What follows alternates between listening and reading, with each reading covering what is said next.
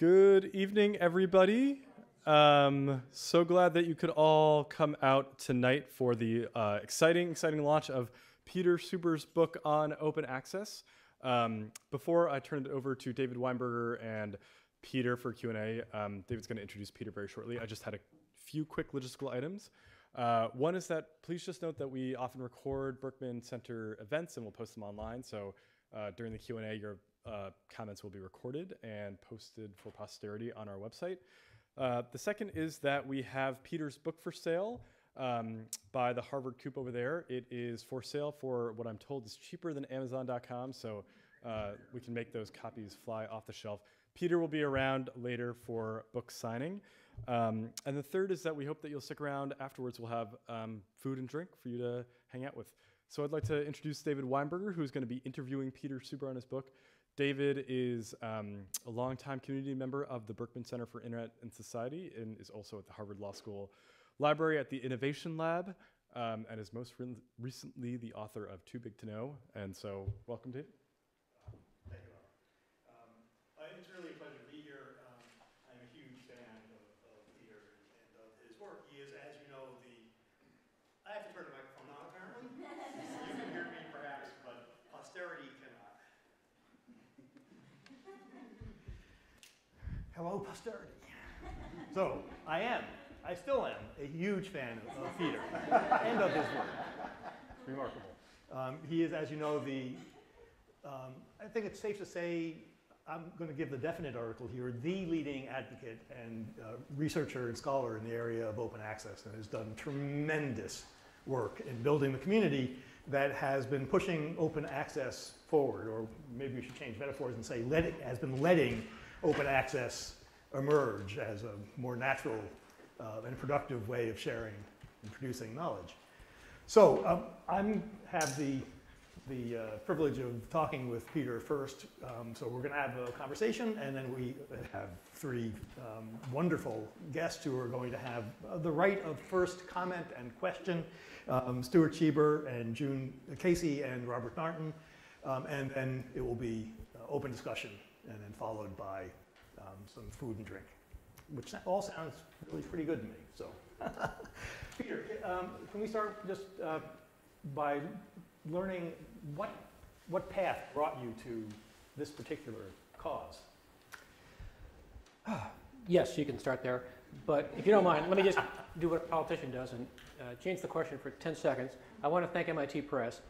Uh, lots of people have given me good feedback on the book, and I discount half of them because they're standing right in front of me.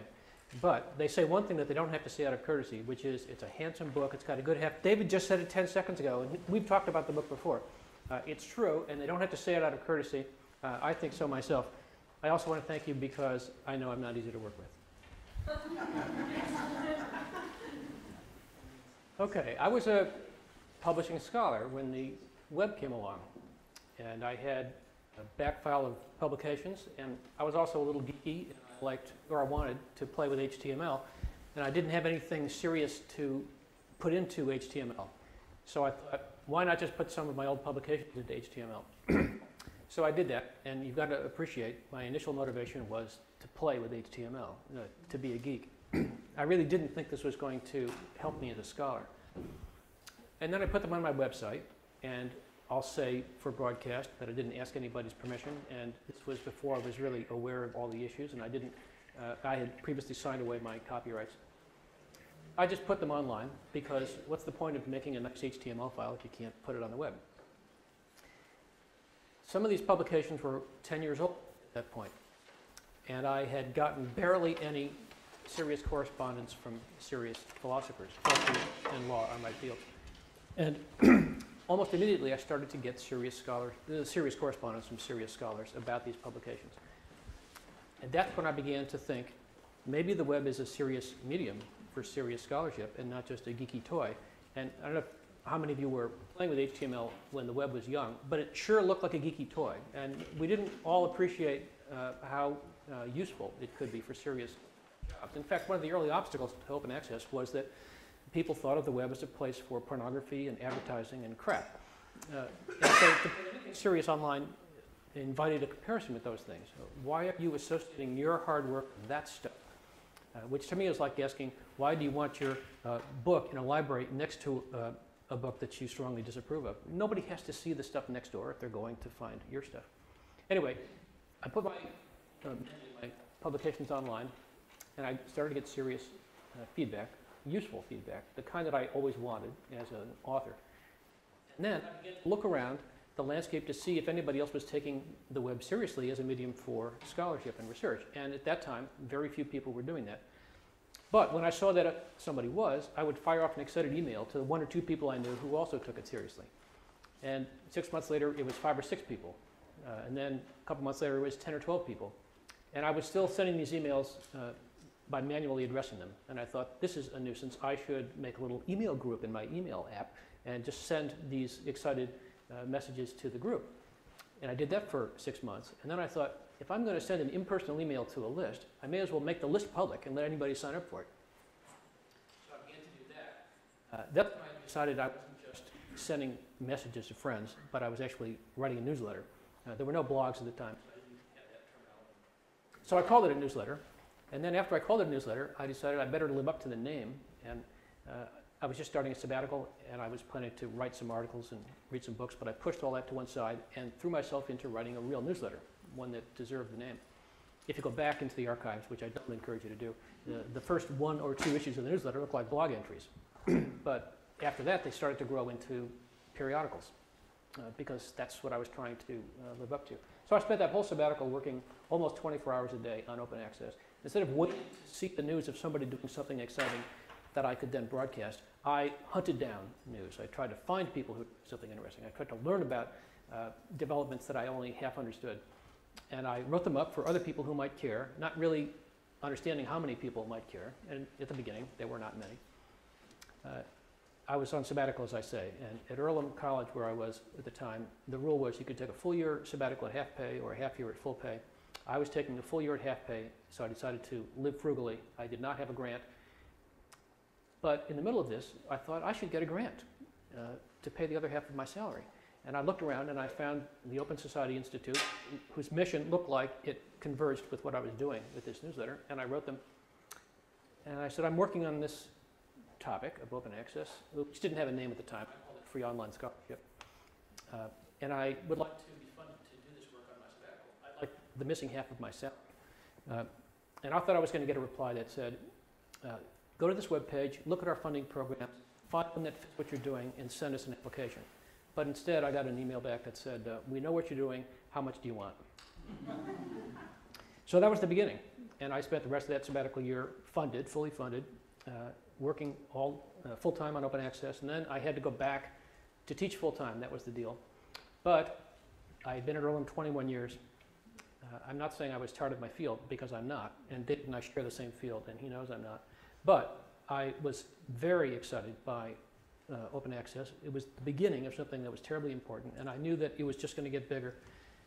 And uh, I wanted to keep broadcasting the exciting news about it. So my wife, who had been at Earlham for 25 years, uh, had similar feelings uh, for, from a different direction. We decided to spend that year wrapping things up, quitting our jobs, and moving to Maine, where my next chapter uh, would be working full-time on open access. So that's what I did. Uh, that's how I could have committed myself to it. But the uh, initial impulse was uh, playful geekiness, putting this stuff online, but then realizing that I was communicating with scholars in a way that I never did in print. I was succeeding in reaching scholars in a way that I never did in print. Uh, and gradually, almost every scholar who uses the web began to see the same thing. And by the way, today, you never hear the objection, oh, if you put yourself online, you're just associating with pornography, uh, narcissism, and crap. Even though all that stuff is still online uh, in abundance. So we've won that one. So I, uh, first of all, there are some seats where people want to uh, come and down or stand. Um, so I, I find it um, both fascinating and heartening in a way that your, your first step into this was not um, on the basis of principle. It was on very practical grounds. You posted some stuff and you were now scholars. And those two strands, um, one of the things that's really uh, refreshing and useful about the book is that it's really pragmatic. Um, there's, it feels like there's some principle running behind it as well, but it, it- this is um, a uh, practical at open access. Um, So let me ask a practical question, which is why would an author choose to give away her work for free? The short answer is not every author is willing to do that. The subset of authors who are willing to do that are scholars who write peer-reviewed journal articles because they're not paid for them. And even though uh, my story didn't uh, reflect on a principle, the fact is, up to that point, before I started putting this stuff online, uh, I was very conscious of the fact that I was signing contracts with publishers, giving away my intellectual property rights, and not being paid for them. Uh, it didn't bother me a lot, but it bothered me a little, and I was thinking about why this custom evolved, uh, such that we would do all this hard work and not only give away the product, but give away the rights to the product uh, for no payment at all. So that fact was just lodged in the back of my mind, and I didn't really know what to think about it. Then the web came along, and uh, even though I knew I was giving away copyrighted works, uh, and I should have asked somebody else's permission, I also knew that I could retain rights in the future to authorize what I was doing. And why would I do that? Why would an author authorize uh, open access? Uh, the answer is, if you're not being paid, then you're not sacrificing a revenue stream to do so. Uh, the only risk created by open access for authors is that you might lose revenue if you're selling your work. So novelists would be taking a risk, journalists would be taking a risk, M- musicians and movie makers would be taking a risk, scholars who write monographs and textbooks would be taking a risk. But scholars who write journal articles are taking no risk at all. Uh, their interest in writing journal articles is to uh, change the field, to make a contribution to scholarship. They write for impact, not for money. And again, I was aware of that. So I was eager to authorize open access. I just couldn't do it for the articles that I'd already published because I didn't think of this in time and I signed away all my rights. But starting then, I began to retain rights and I began to uh, look for policies that advocated that authors should retain rights and uh, I'm still advocating that today. But the interest of uh, scholars in giving away their work uh, is that it maximizes their visibility and impact without uh, adding a sacrifice that they weren't already making. If you want to say it's a sacrifice to give away work without payment, that's okay with me, provided you acknowledge it's a 350 year old tradition. Uh, so I'm not going to royalty producing authors and saying, starting today, I'd like you to stop accepting royalties. I'd like you to relinquish that. Uh, we're talking to scholars who have never accepted royalties since the birth of the scholarly journal in the mid 17th century. That custom allows us, uh, us authors of journal articles, to give away our work without losing revenue, without making sacrifice that we're not already making. And in exchange for it, we get a larger audience, greater impact, exactly what we were running for in the first place. So it's a no-brainer for journal articles. Uh, it's a very tough proposition for any royalty-producing literature. So I want to start by saying the low-hanging fruit is royalty-free literature. But I also want to say I'm also recommending, advocating, uh, pushing for open access to royalty-producing literature as well, including my book. Uh, my book will be open access a year from now. MIT Press knows I wanted it to be open access sooner than that. I'm willing to take that risk for my royalty-producing book. MIT isn't. We had a compromise. I'm happy with the compromise. But I want open access to books. I want open access to uh, novels when the authors consent. I want to open access to music and movies when the producers consent. To me, it's a consent issue. Consent is easy to get for authors who aren't making money. Do you have a hope or, or expectation that as open access um, grows among those authors who are not making money off of their works, unless it's the low-hanging fruit, that uh, authors and creators who are making at least some money will look at the other benefits that the author Yes. gets and will start to make that trade? Yes. To me, the pitch to make to a book author who hopes to earn royalties from a book is to point out uh, realistically, you're not going to make much in the way of royalties from your book. Uh, if you're writing a scholarly monograph. And if you've already written one or two, you already know that. But if it's your first one, you think it's going to be for sale in the rack in every airport. Uh, that's the author who's going to be hard to persuade. But if you've already written a monograph, you know the royalties range between meager and zero. Uh, in that case, the benefits of open access easily outweigh the benefits of your royalties, and you can afford to put them at risk. And I think authors who are likely to make good royalties could also decide that the benefits exceed uh, the risks. Uh, moreover, uh, the complementary argument is that there is good evidence that open access to full text books stimulates the net sales of the print editions, and that the open access editions are used primarily for sampling. They don't replace sales, and if they do cannibalize some sales, they stimulate more sales than they cannibalize. Uh, problem with this proposition is that it's hard to prove with a good control group because you can't make the same book open access and non-open access. Uh, but insofar as we can get at it indirectly, there is good evidence uh, for different kinds of books that this works. Uh, it seems to work for monographs, it seems to work for novels, it seems to work for books that readers want to read from cover to cover because at least when the evidence was coming in, nobody wanted to read a whole book on a gadget. Uh, so if they were sampling the book because they had free access to the text, then they would go buy it. This might be changing now that people are willing to read books on gadgets. Uh, nevertheless, the evidence is there. The evidence might be changing as the technology changes. So what does this look like from the publisher's point of view? So, so there's no risk to the author who's not getting paid. That's right. The other side of it, there may be a little risk. Right. Uh, Is this the end of the publishing industry? No, it's not the end of the publishing industry, but uh, academic publishers are afraid of open access. Uh, I don't want to generalize. Uh, the primary opponents of open access have been academic publishers, but academic publishers are not monolithic. Some academic publishers uh, are born open access if they're relatively new. Some have completely converted to open access. Uh, almost every publisher is experimenting with open access. There are different ways that publishers can do that. Uh, some of them experimented early because they thought this is not going to catch on. Uh, we may as well throw this bone. And it's very hard for them to retract the permissions that they gave early. Some didn't jump in until late when they saw that the support from authors was growing and they didn't want to antagonize uh, authors by refusing even to experiment. So there's a lot of experimental open access uh, from publishers, including the very wealthy, large publishers, uh, but also from small nonprofit uh, society publishers. Uh, some of them are enthusiastically experimenting, hoping it works better, because some of them are being squeezed by the current uh, system of scholarly publishing. That is, not everyone is uh, uh, making 36% profits like Elsevier. Uh, some of them are actually in the red. There are good reasons for them to hope that this is a better alternative. There are good reasons for some to think this is a survival strategy because they're not included in the big deals that are soaking up library budgets. But there are also reasons why the ones that are making good money are experimenting because they see that the world might be changing. Uh, Springer, which at the time was the second largest uh, journal publisher, bought Biomed Central, which at the time was the largest open access journal publisher. Springer became the world's largest open access publisher overnight. And the reason is pretty clear. The CEO uh, wanted to buy, by the way, uh, the other missing factor here is that Biomed Central had been struggling or moving from the red to the black over a period of about five or six years and had just crossed the line into the black. Springer bought it and said, open access isn't a crusade. It's a sustainable business model for academic publishing. Now we have not just a sustainable open access journal subsidiary, we have a profitable one. And the profit margin may be much smaller than what we get from our other journals, but who cares? If the whole world changes and we have to survive on our open access subsidiary, uh, we're better off than all those other publishers. And that's really what I started to write about too. I said to the other publishers, what are you doing to compete with free uh, five years from now if you have to compete with free?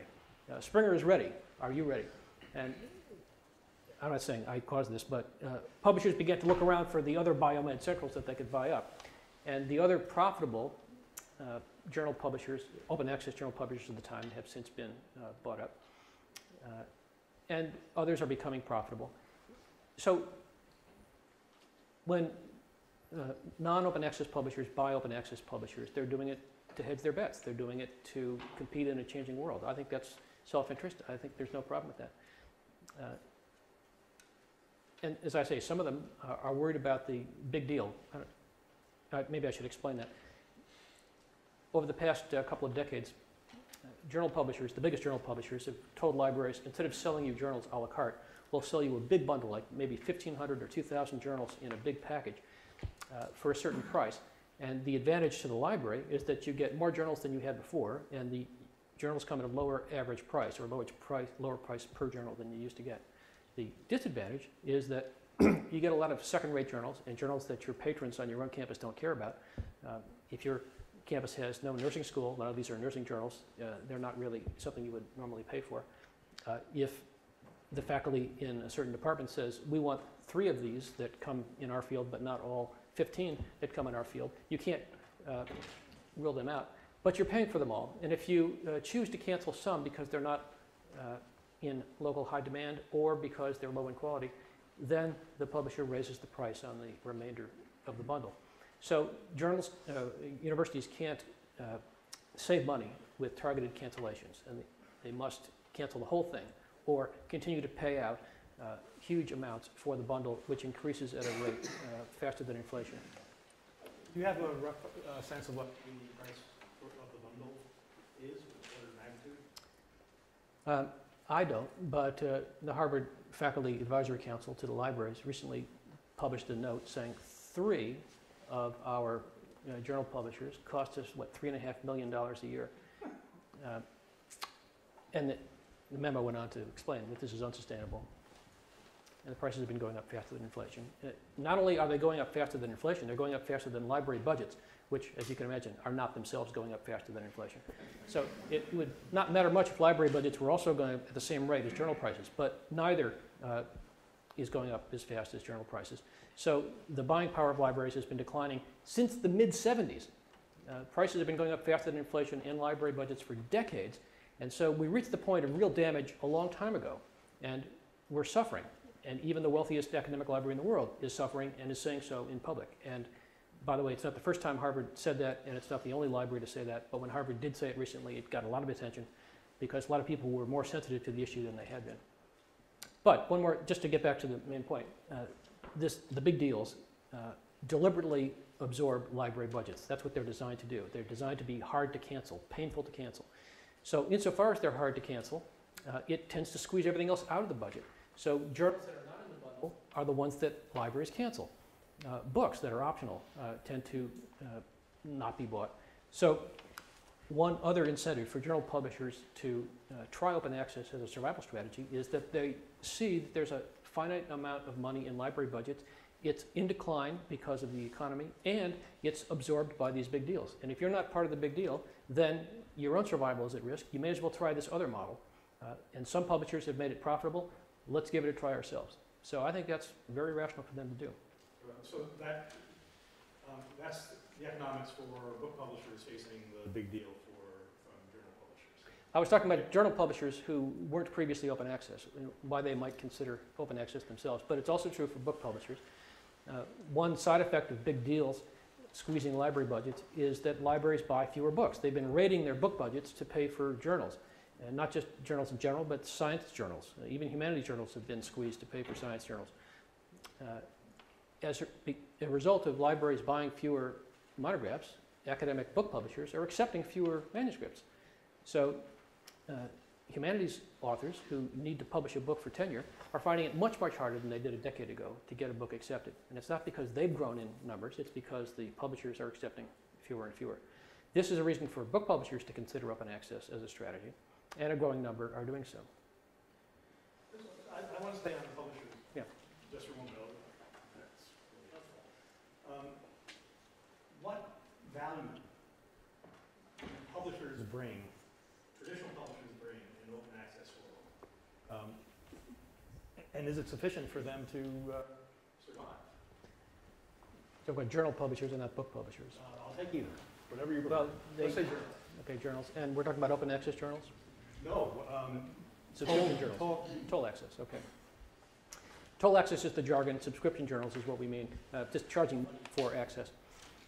Uh, Publishers do add value, they like to say they add value, they're right about that. The question is how much value they add and whether they add value that's worth the price that we end up paying for it. And whether some of that value can be, can be replaced. That's right, and the value they add is being added by open access journals too. So it's not as if the only way to add this value is by charging for access. You can add the value and not charge for access and still make a profit. Uh, But the chief value that publishers add is organizing peer review. Uh, When publishers make statements about this to legislators or journalists, they tend to say they provide peer review, which a little misleading because they don't. Uh, Peer review is provided by scholars on a volunteer basis. They don't charge for their services, they donate their labor, the same way the authors donate their labor as researchers and authors. Uh, referees donate their labor as referees. Journals or publishers organize that labor, and that is a contribution. And the uh, contribution of organizing it uh, costs money. It's non-trivial. And I think scholars think it's trivial because if you're at the other end of it, you just send up your comments and uh, somebody incorporates them and makes a decision. But you have to find referees. You have to uh, dun late referees, and most of them are late most of the time, as you know if you've done this. Um, and then you have to incorporate the comments, you have to date stamp them, you have to get back to the authors, you have to send the right versions to the right people at the right time. Uh, without uh, denigrating the work, I would call this clerical. Uh, The uh, expertise in peer review is provided by volunteers. Uh, The referees and the editors generally donate their time. Uh, It's the organization of peer review, the clerical side of peer review, which costs money. But the clerical side of peer review can be automated more or less by software, and peer, uh, journal management software is getting a lot better at organizing uh, peer review. So the costs of facilitating peer review are themselves coming down uh, as the software gets better and better. And some of the software, by the way, is open source. So the key infrastructure for providing this kind of added value is not only getting cheaper, but it's perfectly accessible to open access journals. If you are inclined to referee for journals in your field, you don't care what their business model is. Uh, if you're asked to referee a paper by an open access journal or by a toll access journal, uh, your answer will depend on how much time you have and whether the paper looks promising. Uh, you don't ask about the bottom line uh, of the journal. So open access journals have the same chance of getting good people to referee articles as toll access journals. Uh, so the peer review can be just as good, and sometimes we know it's exactly as good because uh, a subscription journal with a reputation and a corral of uh, regular re- reviewers converts to open access and takes all of its reputation and customers with it. In that case, the editors, the standards, the readers, uh, the referees are all the same. So the rigor, the integrity of peer review can be exactly the same at both. The willingness of referees to uh, donate their time can be the same as both. Uh, so there is some added value in organizing peer review, but it's not unavailable to open access journals. It's exactly as available. And uh, since I've heard you say many times, sometimes, me when I get it wrong, open access uh, is, let's say, primarily peer review. Yeah, uh, let me just say a few words about that. Um, one of the early harmful misunderstandings about open access is that its purpose was to bypass peer review. Uh, and again, why? It, the same reason I think that everybody thought it was crap or uh, pornography, because everything else on the web was not subject to peer review. So if you're putting it online, it's just like all that other stuff, right? Uh, very uninformed, especially when uh, peer-reviewed journals were saying that they were peer-reviewed. Anyway, uh, the purpose of an open access journal is to provide open access to peer-reviewed articles, not to bypass peer review. The purpose of open access repositories, or the primary purpose, is to host peer-reviewed articles, not to bypass peer review. Uh, but after having clarified that, I also want to say another front on which people are making progress in open access is providing open access to unrefereed preprints. So preprint exchanges where people swap papers that have not yet been peer reviewed is very useful to research. It's just not the only focus of open access, and I wouldn't even say it's the primary focus. But before the web came along, there were peer review exchange, I'm sorry, uh, preprint exchanges in many fields, mostly the sciences. It was very rare in the humanities. Uh, those continued when the web came along, uh, and the arXiv in physics is not only the best uh, known example, but it's the largest, and it actually helped physicists become leaders in open access because they were already used to uh, swapping preprints uh, without the intervention or mediation of publishers. And when arXiv became open access, uh, digital and online, physicists just went along with it. And now, in some fields of physics, 100% of new research is open access from birth. That is, even before it's peer reviewed, because physicists have been uh, accustomed to trading their preprints. In fact, most physicists now, I think, in some fields like particle physics, think of uh, journal publication as an afterthought, a kind of archiving of the article, which has already made whatever impact it will have uh, by circulating as a preprint.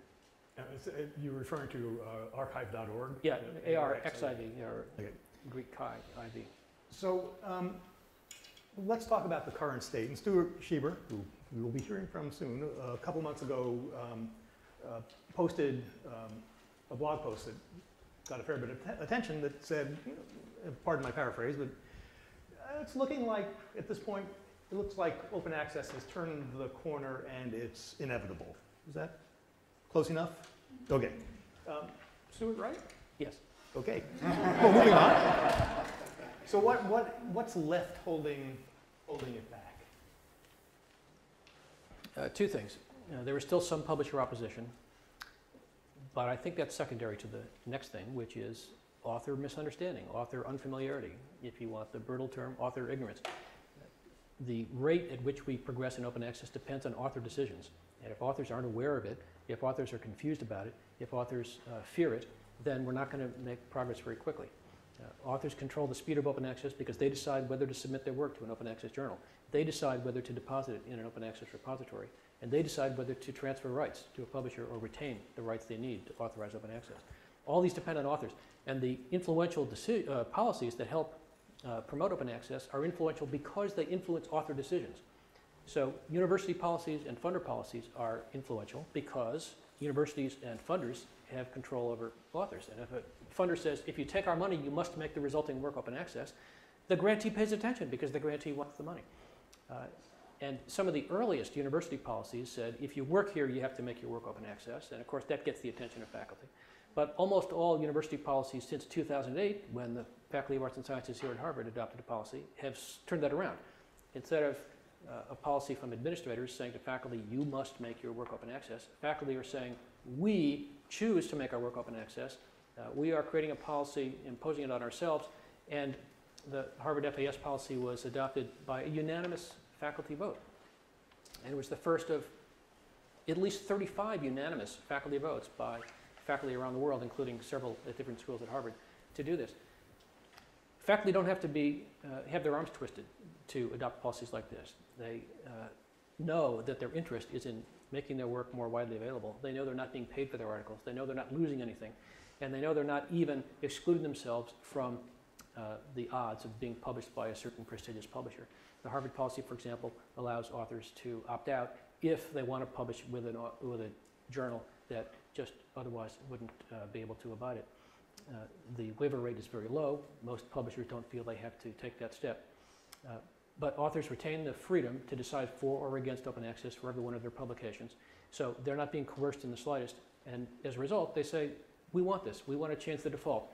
Uh, under the old system, the default was you don't make your work open access, uh, and you have to take some affirmative step to make it open access. Harvard policy, supported unanimously, faculty say, uh, we give standing permission to the university to make our work open access, and if we don't want that to happen for one of our articles, we have to take an affirmative step to say, no, not for that one. So uh, this, to me, uh, so there's one more factor that um, uh, I'd like you to talk about, um, in particular because I think it raises the question of to what extent is, is and should, open, is open access mirroring the structure of toll access? Yeah. And so one of the reasons why authors resist, I, I believe in some cases, resist open access is it doesn't have the impact, in fact, it doesn't get the impact factor, um, that traditional publishing and toll and you know, small exclusive um, toll-based publications provide, and going up for tenure, uh, at least it has traditionally looked better to have published in one of the paper Yep. paper journals. So this is a type of exclusivity that the fact of paper provides um, that traditional has been a value for traditional publishers. Um, and it's being mirrored in some of the open access journals as well, uh, precisely to provide authors with a sense of exclusivity, which they can then use, or impact they can then use to get tenure. Um, in in uh, reinstituting an artificial, in some ways, an artificial scarcity in open access journals, are we, um, is, is this what, is this going to be the sustainable future, or is this a transition point? Or, uh, There were several things in there that I'd like to respond to. that okay, good luck fishing them out. First, it's uh, in the digital age, it's toll access publishing which creates artificial scarcity. Once you have a digital article and once you have a world wide web, then not making it available to everybody with an internet connection is artificial scarcity. Uh, and putting it online behind a paywall and a password barrier is artificial scarcity. Open access does not create artificial scarcity. However, open access journals are selective like any other journal, that is, they reject some submissions. Uh, that's not artificial scarcity, that's quality filter. Open access removes price filters or price barriers, it does not remove quality filters. Some open access journals are highly selective. They're as selective as the most selective open access journals. And Why not? Uh, That's about quality. Now, there's prestige, and uh, one problem with the academic world today is that we confuse quality with prestige, and we use prestige as a surrogate for quality when it's not a good surrogate at all. Moreover, uh, well, I think one reason we do that is that quality is impossible to measure and prestige is just difficult to measure. Uh, so it's a little bit, a little bit better. But uh, the traditional journals are prestigious. And I would qualify something you said. They're not prestigious because they used to appear in paper. Uh, they're prestigious because they're old and they've had a long time to develop a reputation for quality. And when a journal is high in quality, then over time it can develop a reputation for being high in quality. But a journal which is brand new and also high in quality doesn't yet have a reputation for being high in quality. It takes time to earn a reputation proportional to your quality. Uh, as I say in the book, open access journals have all the advantages of being open access, but all the disadvantages of being new. If you're new, you don't have a reputation to match your quality, at least not early. And so you're competing for prestige with journals that have it. Uh, you might deserve it because your quality is the same, but you don't have the same prestige. So when we're measuring prestige by gut, which is how we often do it, uh, have I heard of this journal? Uh, to be published there myself? Uh, then open access journals often lose because if they're new, you haven't heard of them yet. If we measure uh, prestige by impact factor, uh, open access journals uh, win very often because there's good evidence that uh, open access increases the citation of articles. And there's also evidence that it increases the journal impact factor of journals that have become open access. Uh, this gets the attention of publishers because they want to increase their own this gets complicated because while I want open access journals to uh, compete on a more level playing field with traditional journals, uh, I don't want them to compete for the journal impact I think it's a bogus metric. One. So it's a game at which open access journals could win. I just don't want them to play the game. And uh, that's a hard one because you'd like them to win at every game. The Public Library of Science, which is one of the best open access journal publishers, has developed uh, journal level article, I'm sorry, article level metrics for each of its journals. One problem, among many other problems with journal impact factors, is that it doesn't measure the impact of individual articles. It measures the average impact of a whole journal. Uh, and you're supposed to bask in the reflected glory of all the other good articles that have ever appeared there, when you might be the one who's bringing down the average uh, for the journal. And so what we really want, uh, at least if we want to sharpen the metric and make it more precise, is article level metrics, not journal metrics. And Public Library of Science, to its credit, uh, has the power to play the journal impact factor game and win, but it's not. It's choosing to uh, develop article level metrics. And I think other open access journal uh, publishers are doing the same and ought to do the same. The other thing about uh, imitating toll access, it's true that some journals, some open access journals, some all digital journals, look a lot like print journals online. That's no accident. Some of them do it on purpose. Uh, one reason they do it on purpose is to be as little alarming as possible.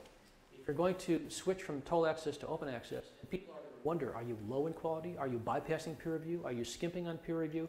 Uh, if your business model is to charge an upfront fee, are you corrupt? Are you taking fees to, uh, uh, are, you are you lowering standards in order to rake in fees? If a journal changes nothing but the access variable and keeps peer review conservative or customary, conventional, uh, then it can satisfy skeptics who think that everything is changing at once. That's smart. It's a controlled experiment. Uh, journals do 100 different things. We're going to change just one. And watch us. Everything else is going to stay the same. That's deliberate. But other journals, I think, frankly, say the digital medium gives us the chance to change 99 of those other things if we wanted to. And do we want to? Well, in many cases we do.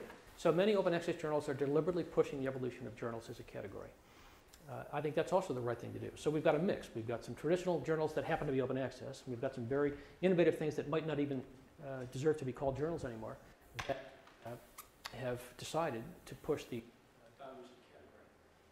And behind this, uh, apart from the policy decisions about how many variables to tweak at the same time, you've got, call it lack of imagination. It's kind of a cliche that when television came along, TV shows look like broadcast radio shows, or they look like broadcast stage plays. Uh, that wasn't because people thought that would be smart, it's because it took a long time to decide or to discover how to take full advantage of the new medium for telling stories.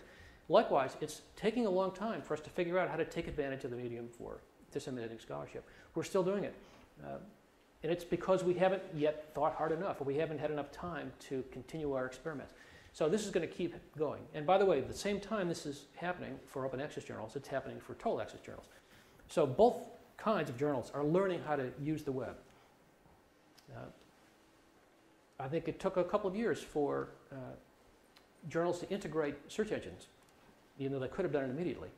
Uh, they integrated uh, uh, active links fairly early, but they didn't uh, link from every citation in every endnote right away. That took time. That, by the way, took standard setting as well. That was really complicated.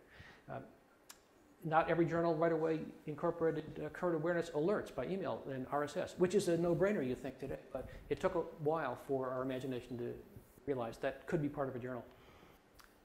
Now, these are all fairly commonplace. But what are we overlooking that's going to be commonplace five years from now, 10 years from now? We don't know the answer, but that's our fault. It's not because we're deliberately deciding to hold back progress to look like the old thing uh, and avoid scaring people.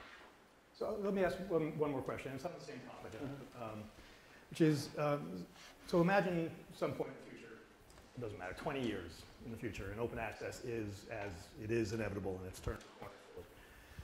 Um, so this is another question about peer review. Um, the, my issue with peer review, for what it's worth, is it doesn't scale very well. It serves a lot of purposes, but you don't get, it, it, it throttles.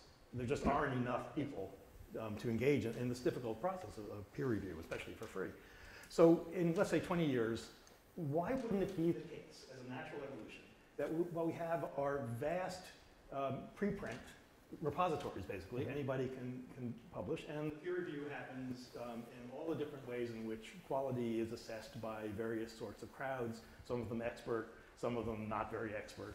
Um, and that those evaluations, which are peer the type of peer review after the process, mm -hmm. uh, after publication, um, those processes become, in effect, uh, they do the thing that we want journals to do. They draw our attention to the work in the massive work that is relevant and, uh, and important. Do journals have a future? But journals probably have a future, but so do the alternatives that don't look much like journals. The whole category will evolve, and there will always be conservative-looking specimens inside boundaries and then innovative things. But peer review will also evolve. Uh, in all my writings about peer review, I've been careful not to say much because I don't want to feed the misunderstanding that open access presupposes a certain kind of peer review when in fact it's compatible with every kind of peer review. Uh, very conservative peer review, very innovative peer review. Uh, I have opinions about what peer review, what kinds of peer review are better than others, but I've been reluctant to say them since everybody thinks of me as the open access guy. Uh, well, you're among friends here. That's right. Uh, but I, uh, I'll make a two-sided claim then. Uh, first, we are seeing more post-publication review, what I call retroactive peer review. and second, I think that's good. I hope it works. Uh, my judgment is that it hasn't worked very well so far, and the pioneers in retroactive peer review failed, generally. Uh, retroactive peer review is desirable because you make the preprint uh, open access from the first minute. As soon as the author is ready to submit it, it's open access. So there's no delay. You say it's a bottleneck, it's true. It slows things down. In uh, fields where you have rapid turnaround, you still are looking at two, three, four months. In fields with slow turnaround, like economics, it's two or three years. Uh, it's a terrible bottleneck that slows down research. So you want to make this stuff open access as soon as possible. One way is to put it, uh, make it open access right away and then subject it to peer review later. Now, if you subject it to a kind of conventional peer review later, uh, by farming it out to people that you handpick to do the work, uh, and you decide to accept the article, you probably accept a revised version of the article. You put up the revised version alongside the original version. You stamp metadata that says this was approved by peer review. That would work, except that's not what most people mean by retroactive or open review. What they mean by that is um, let's take the discussion triggered by a paper and with uh, nudging or channeling, let's uh, make it higher in quality than it has been, and let's call that peer review.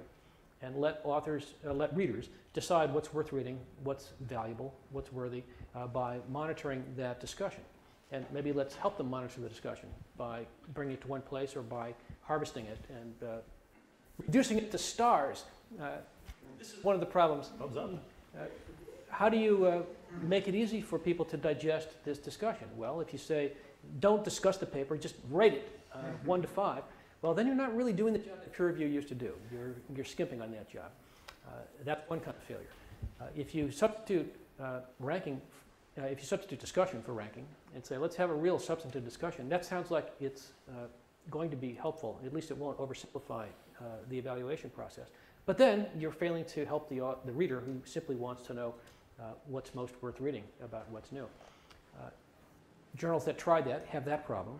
Uh, it's hard to give readers or would-be readers the digest of what's going on. But they have another problem too, which is put out this preprint and they say, please come comment if you happen to be in the right field. And if you monitor those discussion sites, you see, cool, dude, Uh, this sucks. Uh, and whether it's positive or negative, it tends to be superficial.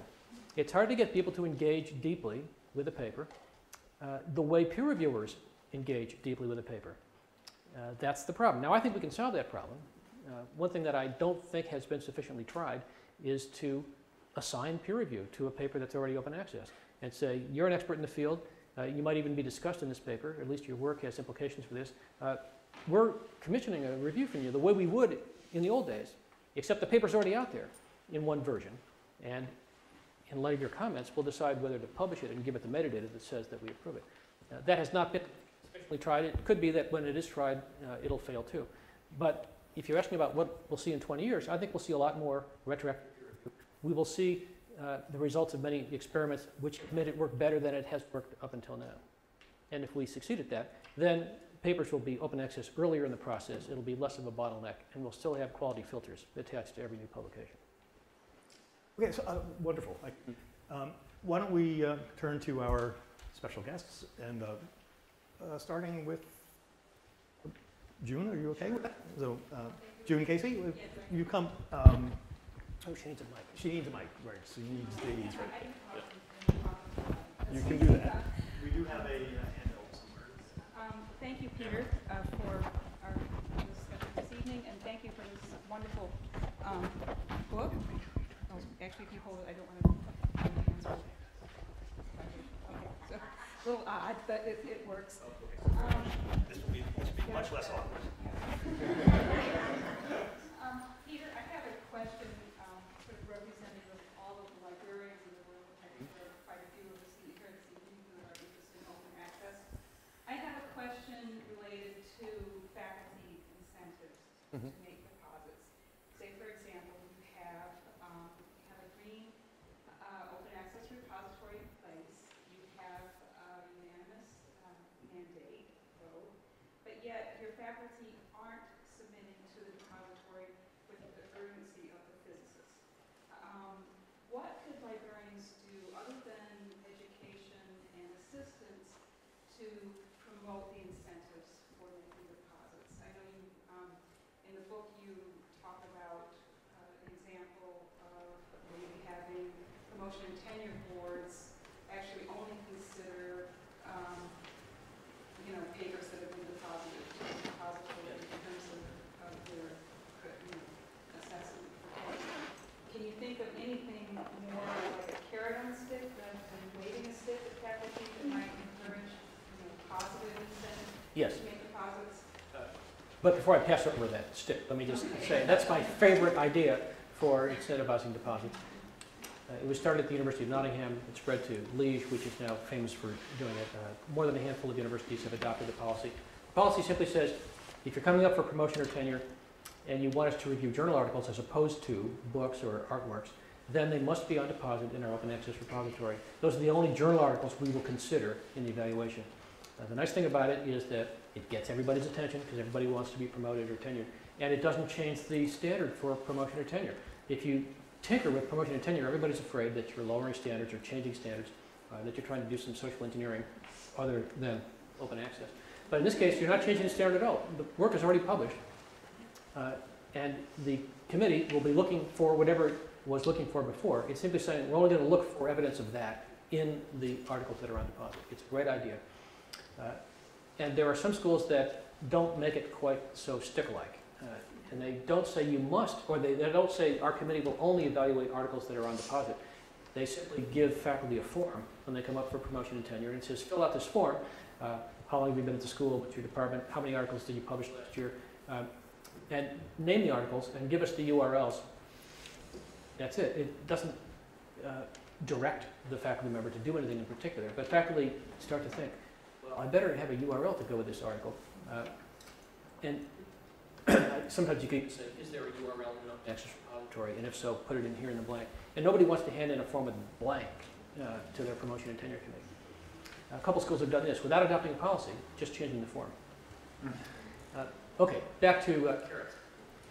Uh, First, let me recognize Emily Kilcer, who has done work for the Harvard Open Access Project in the ideas in the literature for uh, giving faculty an incentive for depositing their work. It turns out there are dozens or hundreds of ideas uh, that have been recommended and some that have actually been tried.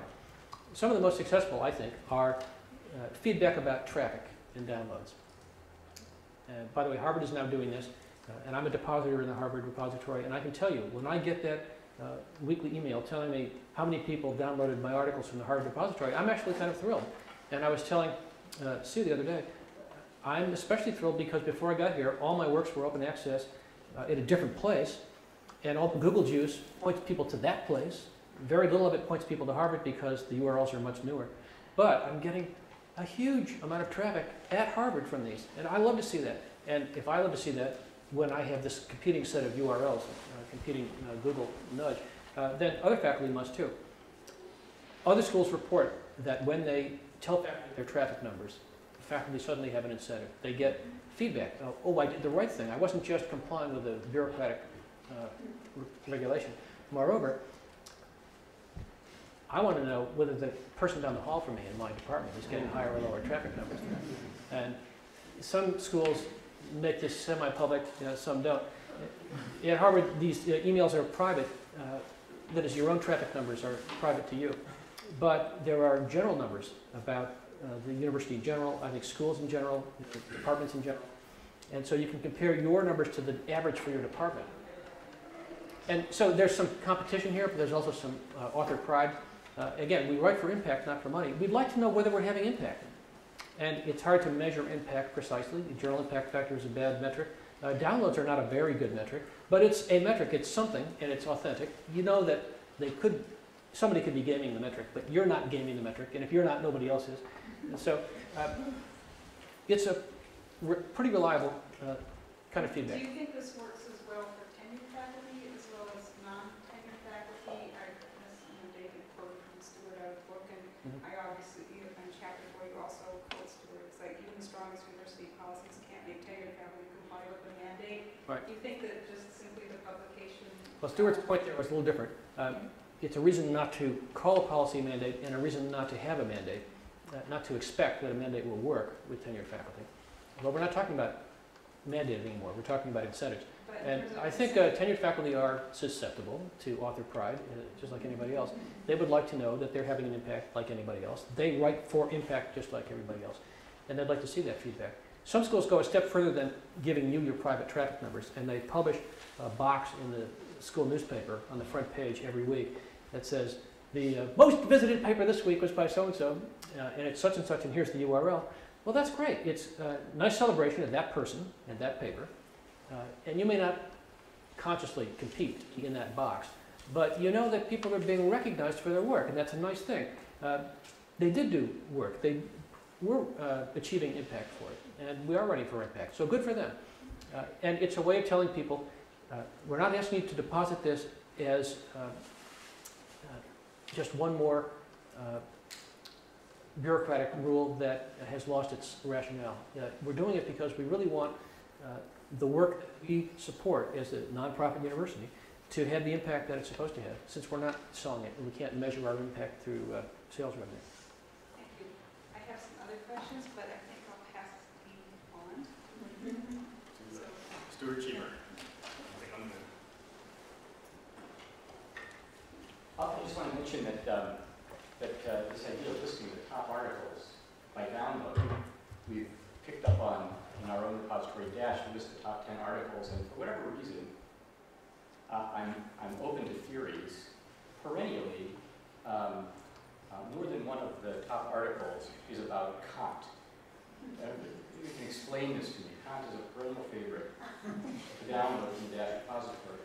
But that wasn't my main point. My main point was I wanted to do a dramatic reading from Peter's book, um, which is from the penultimate chapter about the future. Um, so I'll do a little reading and then uh, make a comment uh, that, or raise a question uh, based on reading. So, so here's what Peter says. He says, the basic idea of OA is simple, but it has acquired crucial refinements over the years to answer objections and make implementation fast, easy, inexpensive, and lawful. This creates a tension because the basic idea is simple, it's continually being rediscovered. However, people fresh to the concept haven't yet absorbed the refinements that answer objections and make implementation fast, easy, inexpensive, and lawful. Whenever Peter writes, he always likes to repeat phrases in this wonderful way that emphasizes. I'm, I'm digressing. Could have made that. The dramatic reading could have made that clear by itself.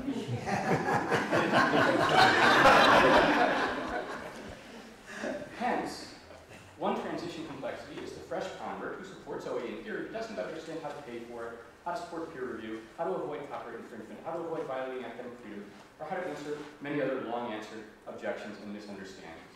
So this is really an important point, that um, this tension uh, is, is holding things back. And the tension is the simple idea seduces us into thinking that everything about open access is simple, just because the, the point is simple, that, that, all the other issues are simple.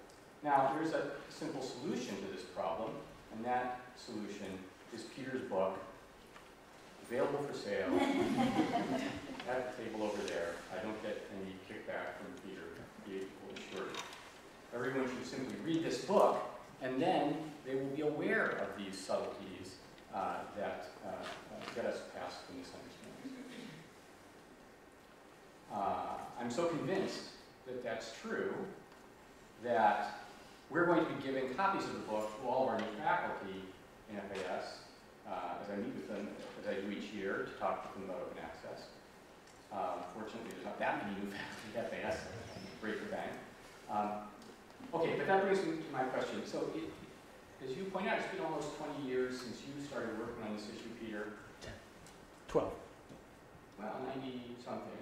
Oh, You okay. started, If you know, count putting my own work on, Yeah. yes, okay. And that, that counts. You know, people started putting, people, when you realized early on, other people realized early on, there's something good about making this work available in these supplementary venues. Uh, nonetheless, open access isn't a, isn't the central way of doing, uh, even scholarly journal article publishing. I don't want to say it's a, it's no longer a fringe method, but it's not the central uh, structure that we use for that kind of dissemination. Um, and um, uh, so, what the, the question is, what else universities can do to make progress?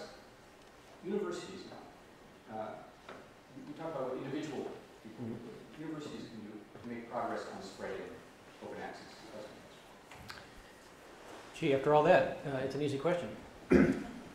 I think universities should do what seven schools at Harvard have done. They should adopt the Harvard-style open access policy. And I mean that, and I prove it by advocating that policy. I recommended it, I endorsed it before I got here, so there's no conflict. Universities should adopt policies. Funders should adopt policies. I know you asked about universities, but I'm deliberately bringing in both of them because funder policies only influence the grantees. Uh, they're very effective for the grantees, but not all researchers. Universities can influence essentially all researchers. Now, there are a lot of researchers, but if we can actually reach all university-employed researchers, we've reached uh, the critical mass by a long shot. So if universities adopt open access policies, we're there. If 20% of universities adopt open access policies, we're there. Uh, and there are only about 100 uh, good university policies today, and there are at least 3,000 universities in the United States alone. So we're a long way from spreading these policies as far as they need to be spread. On the other hand, you know, but maybe not everybody in the room knows, that a lot of schools that don't have policies are already deliberating about policies. And one thing we're doing here is helping those schools deliberate about policies. I'm not saying that uh, next month 50 new schools will announce policies, but I can predict that some very big and important schools will announce policies fairly soon.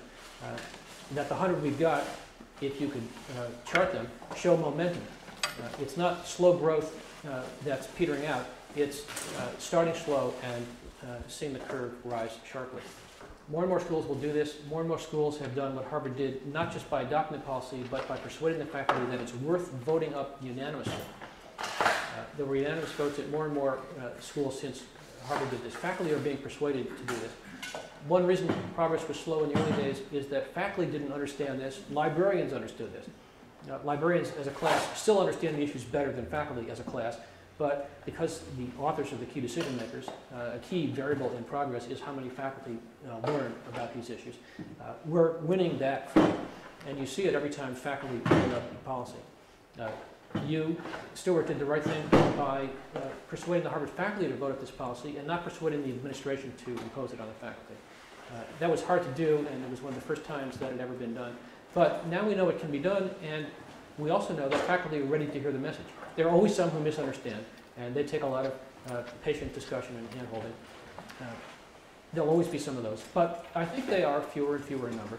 And there is evidence of a growing rebellion from faculty. The chief problem with this growing rebellion from faculty is the uh, fresh convert problem from Stuart's uh, dramatic reading. A lot of the people who are now hopping mad about open access are not taking the refinements into account, and they're advocating policies that uh, don't fully uh, account for the best practices that make open access fast, easy, inexpensive, and lawful. Nevertheless, they're uh, susceptible to the message. They are warm to it, and they're ready to vote for a good policy. One problem that we see at Harvard here when we consult with other schools that are considering policies is that the first draft uh, hasn't learned from the experience of other schools. So one thing we're doing is trying to digest the experience of other schools, including our own experience, and make that available to other schools. And sometime this fall, I hope we'll have a public document that we can share uh, with other schools. But that's what I think schools should do. They should adopt policies, but they should adopt policies that benefit from the experience of the schools that went before them, uh, including us, but not limited to us. And then uh, adopt a policy that has faculty support. And if it has faculty support, then we're continuing in the right direction. Uh, Just one more way to put this. We don't have to have policies that literally bind all scholars. Uh, It's roughly speaking the case that 80% of papers are published by 20% of authors. If you can get that 20% of the authors, then you've got it made. Uh, It's not clear whether we're there yet, because it's not who, clear who those 20% are, even though there's probably a way to figure that out. Uh, And you don't want to get uh, just the schools that have some critical mass of those uh, authors, although we're getting there too. So there's a point far short of 100% where we do cross a tipping point. And I'm trying to be careful with tipping point language because it's, I think, overused in this area. But when you see this sharply rising curve, you know we're getting there fast. Uh, Today, only 30% of peer-reviewed uh, journals are open access. But 30% is a lot compared to 10 years ago when it was about 1%. Uh, There are 100 open access policies at universities around the world. There are about 300 funding agencies around the world. There are 8,000 peer-reviewed journals in all languages and all fields. Uh, In each case, these numbers reflect sharply rising curves. So there's no doubt that the momentum is with us, and it, it's only a matter of time before we cross that barrier where the magic 20% of the authors uh, have either internalized the message or been subject to a policy and make their work open access. Professor Hart? And well, I'll be quick, Peter, because uh, a lot of people have a lot of questions. From the point of view of Massachusetts Hall, not that I spend much time in it, um, there are decisions to be made. What would you advise a university administration to do to promote open access? What is the most effective means? Do you think that administrations ought to found new open access journals? Do you think they should uh, subsidize processing fees? Uh, Do you think they should try to have new platforms that could be used economically? What is the best policy from the point of view of, let's say, provost? Very good question. Uh, First of all, this idea that I like a lot of having promotion and tenure committees limit their review of journal articles to those on the, is a provost level decision. So I'd like to see them consider that. I'd also like provost to take a more historical view of things. After World War II, we outsourced academic publishing, university presses to commercial publishers. That was a big mistake. And if we're ever going to reverse it, it has to be done at the provost level. And we have to fund university presses and make sure they uh, are sensitive to the problems that need to be solved. Uh, University presses are uh, declining and disappearing, and one reason is that universities expect them to be profit centers, uh, when in fact scholarly literature has always been subsidized. It has never, or almost never profit. Universities have to acknowledge that, and if they're going to have a press, uh, that will take some of the load back from commercial publishers. It has to be subsidized. It can't be a profit center. It can't be expected to be a profit center. That's a matter of university expectations. So that's a Massachusetts Hall decision. It's not a press decision. Uh, and if you're going to fund the press, if you're going to have a press, uh, let it good works of scholarship that won't make a lot of money, because that's what good works of scholarship tend to do. If we're going to continue the process of reclaiming academic scholarship for academics and not outsourcing it, or outsourcing it less and less to commercial publishers, uh, then I think we should uh, observe the movement to merge publishing with libraries. Uh, Many of academic presses and many uh, major academic libraries have merged over the past five years. It's a good idea, uh, not just because there's a lot of uh, common knowledge shared by those two but because uh, the role of the library is changing in the digital age, and one part of the role of the library in the digital age is to share the collection. Now, that used to mean sharing the print collection with walk-in patrons, but now it means sharing a digital collection with everybody who has a com- computer, and that's publishing. And insofar as libraries adapt their mission to the digital age, they will become publishers, and it's a natural partnership. That's a level conversation too. Uh, Of course, the and libraries uh, have to be part of the uh, conversation, but it won't go anywhere very fast unless uh, the provost decides this is something worth doing. And to decide whether it's worth doing, we can't merely look at journal prices uh, and licensing issues. We have to look at the uh, mistake we made a couple generations ago in letting academic publishing be taken over by corporations whose uh, revenues are given to shareholders rather than to academics. Uh, Scholarly publishing, uh, when it was done by university presses, fed the university. Scholarly publishing, when it's done by societies, you know, learned societies, feeds learned societies. But scholarly publishing done by big corporations feeds shareholders. And the money is not uh, recycled by the academy. That's what we have to fix. We have to recycle the revenue that pays for scholarship so that it supports the academy, uh, instead of letting it hemorrhage out of the academy the way it has been doing for decades. That's a provost level decision. And there can be visionaries in the faculty, library, uh, administration, but they all have to be part of the decision if going to uh, solve a big picture problem and not just individual uh, author decisions. Thank you. And thank you. Uh, we're gonna take questions.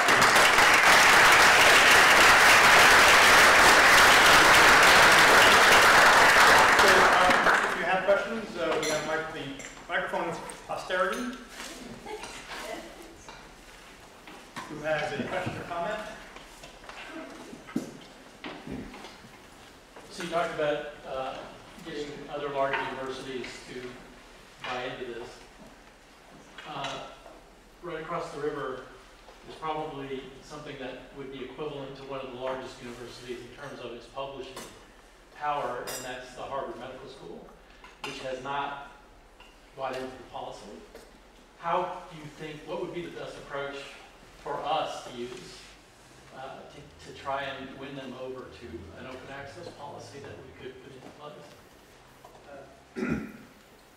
The Harvard Medical School is not opposed to an open access policy.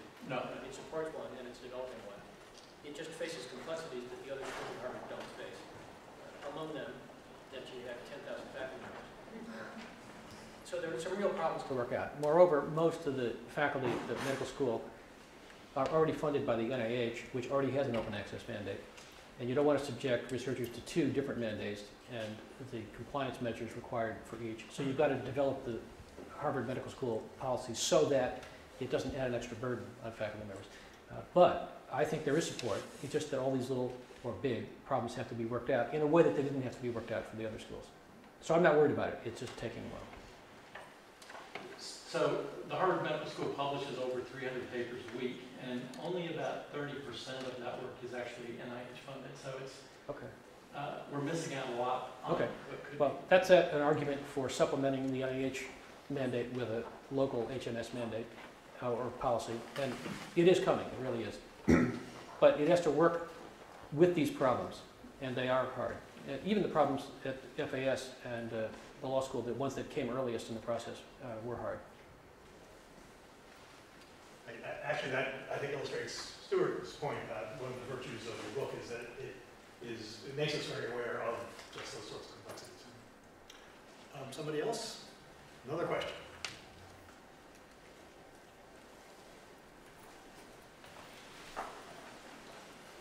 It's very, very timely for me as I'm, I'm trying to do something close it. So one of the things that uh, really uh, upset me, I would say, um, a year or so ago is when, um, with some colleagues, we tried to um, give a seminar and we'd like to give to the attendees copies of our papers. And we were told that we have to pay for our own papers $2,000 in order to be, have the privilege to copy our papers. Um, I gave up, of course, and I got upset. I wondered, could I have done something else at that time? Yeah. Uh, to, to, you know, instead of being upset. You're talking about sharing papers with students in a seminar. Yeah. To me, Not that's, with students, with, with audience that the university was bringing. oh, okay, that is a little harder.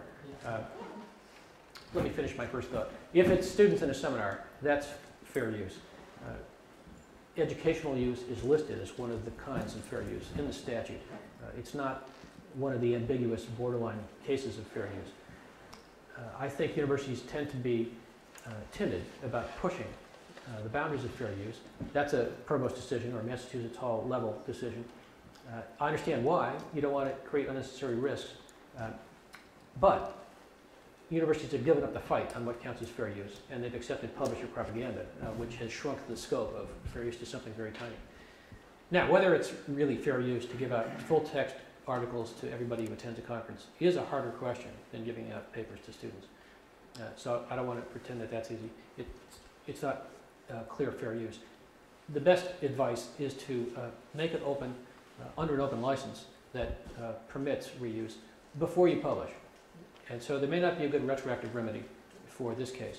But if we appreciate the problem caused by our neglect to retain rights in the past, then we will know why we should retain rights in the future.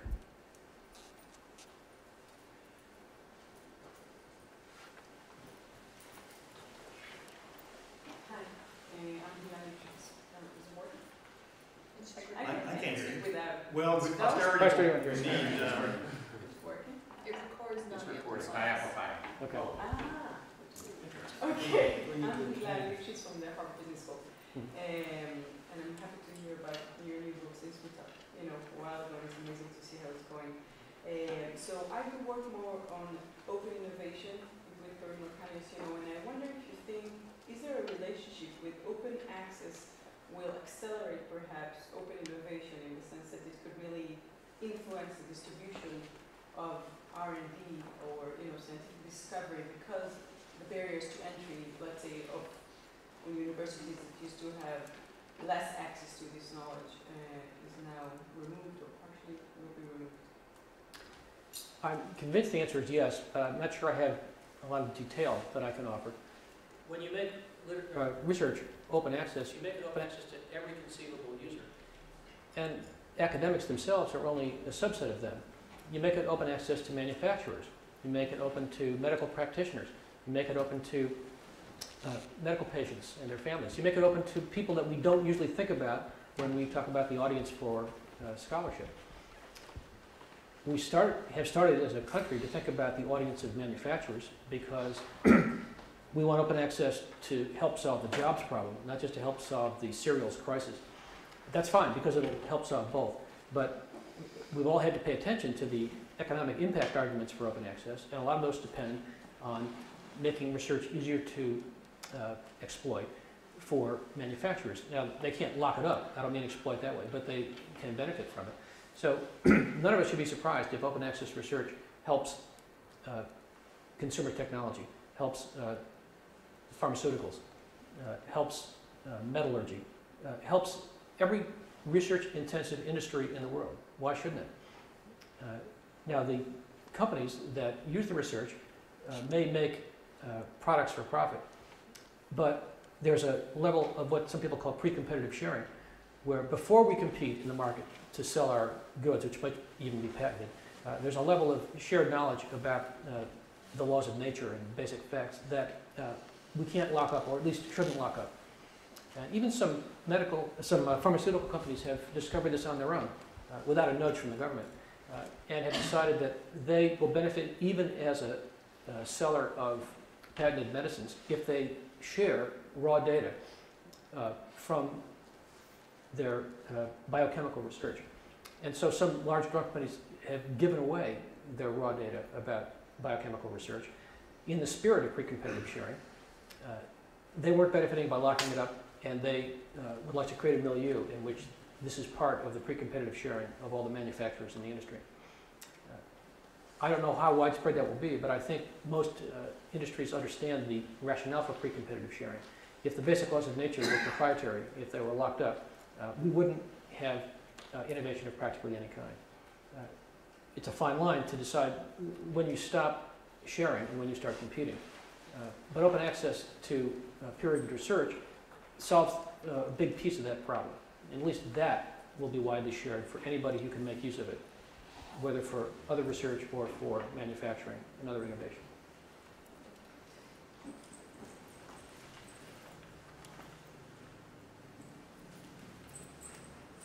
Uh, My name is Bodo Balázs, I'm a fellow at the Berkman Center, and I would be interested in the specific arrangement that you choose to publish this book. Uh, as far as I know, it will be released after, uh, after a year. Yes. Uh, and uh, I'm curious about how you found that date, or what kind of decisions such a release strategy reflects. Uh, No secret, I wanted immediate open access. Uh, The press didn't. Uh, It was a congenial discussion. I understood why they didn't. They understood why I did. Um, We uh, talked back and forth and agreed on this. Uh, I'm willing to compromise. Uh, I would be less willing to compromise if I were saying something utterly new in the book. But as I say on the preface, and not hiding from anybody, this book consists of uh, arguments and analysis that I've published in open access forums in the past, often more than once. Uh, I'm a little tireless and a little repetitive on the subject of open access. So the book doesn't have anything very new except the unification of all these arguments and analysis. And maybe that's worth paying for, but even if not, uh, you can wait a year. I'm not going to mind if you wait a year. That's when it becomes open access. Uh, but I do understand why a book publisher wouldn't want a book to become open access on day one. Uh, some are open access on day one, and some of those uh, do well, but we're not really sure what all the variables are. So it was a friendly discussion, and the result was a compromise. Uh, time for one last question. And, and by the way, there's, there's no question that the, the book is worth the price. I don't leave that as a, as a possibility, really. Um, How would you incentivize faculty to take the leap from the important first step of um, depositing their work in institutional repositories, which um, I guess in the grand scheme is a relatively passive step of merely following the university policy that's already in place, to taking the proactive step of choosing an open access journal for their work, particularly in the humanities where Mhm. the argument for uh, distribution isn't necessarily as strong. I can answer the question, but first I'd just like to change a few words. Uh, I don't think it's passive to deposit in a repository, even if your school has a policy uh, urging you or requiring you to do so, because you don't have to deposit because the school said so. You might deposit because it's a good idea. Uh, Many school policies have some good idea behind them. Uh, I actually think publish or perish is a pretty good idea, even if it's sometimes implemented badly. That is, we researchers ought to publish our research, not just do it and put it in a drawer. So when we publish, we're not just following a rule, we're also fulfilling our mission as researchers to share our uh, results with other people. So I think when you deposit in a repository, that's what you're doing too. There's nothing passive about it. And if there are no good open access journals in your field, that's a perfectly good way to make your work open access. Now, there might not be good open access journals in your field. There are some first-rate open access journals, but some fields don't have them yet. Uh, and if you need high prestige for the sake of promotion and tenure, there may be no high prestige journals, even if there are high quality journals. And there's no harm in taking all the variables into account when you're calculating where to submit your work. So if you look at the directory of open access journals and browse by discipline, you can see what's available in your field. And you may not like what you see. That's fine. uh, in that case, deposit your work in a repository and make it open access that way. But if there is a journal which is high in quality, maybe high in prestige, uh, and you can get your work accepted, go for it. Uh, I don't want to overpromise and say there are journals like that in every field for every topic uh, of every research paper. There aren't yet. there are only 8,000 uh, peer-reviewed journals. Uh, there are at least 25,000 peer-reviewed journals in all fields, and some estimates go as high as 60,000. So uh, it's either 30% or it's something even smaller, uh, maybe 15%. So we're still growing, and there are a lot of gaps not yet covered by high-quality uh, open access journals. All I can say is if you look today and don't find them that you like, look again when you publish your next paper, because things are changing. Uh, Okay, I, I want to uh, thank our guests, uh, June Casey, Stuart Shieber, and, Dr. Darnton, also uh, Berkman Center and the